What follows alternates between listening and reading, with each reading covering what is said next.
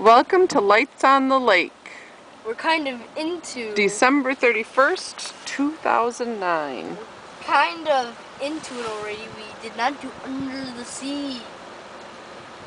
The gingerbread man flipping over. Yes, we did that. I wonder.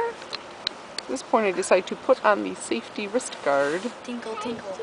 Whee! That's a clever bugger right there, let me tell you. How in the world does a gingerbread man flip?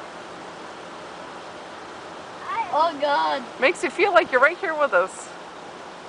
There's a This- elf about to go into the outhouse. The elf needs the outhouse. He does not look like he can hold it much longer. It says. waiting for something. It says It's the big guy.